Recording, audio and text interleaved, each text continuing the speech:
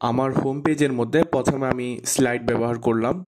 এরপর আমি আরেকটি কন্টেন্ট বানাবো, যার নাম হবে ফিচার্ড ক্যাটাগরিজ পপুলার কিছু ক্যাটাগরিসের আমি ইমেজ আমার ফিচার্ড ক্যাটাগরিসের মধ্যে দিয়ে দিব।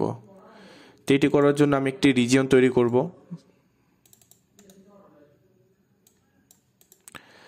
রিজিয়নের নাম দিলাম ফিচার্ড ক্যাটাগরিজ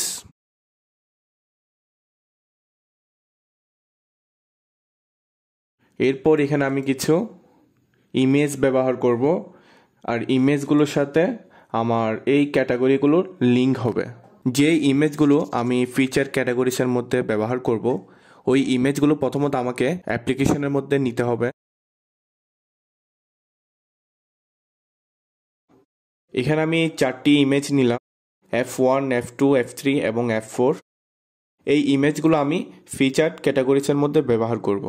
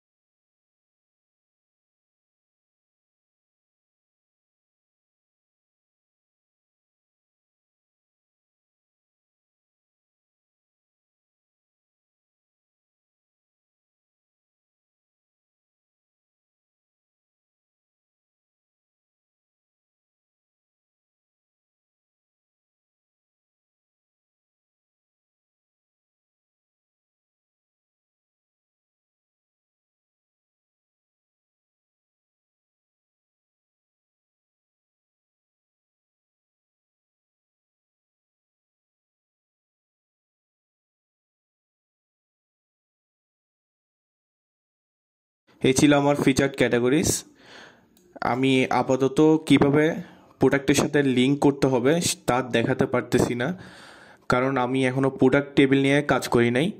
যখন আমরা প্রোডাক্ট টেবিল নিয়ে কাজ করব, তখন আমি দেখাবো কীভাবে প্রোডাক্ট টেবিলের সাথে আমার এই ক্যাটাগরিজগুলোর লিঙ্ক করতে হবে।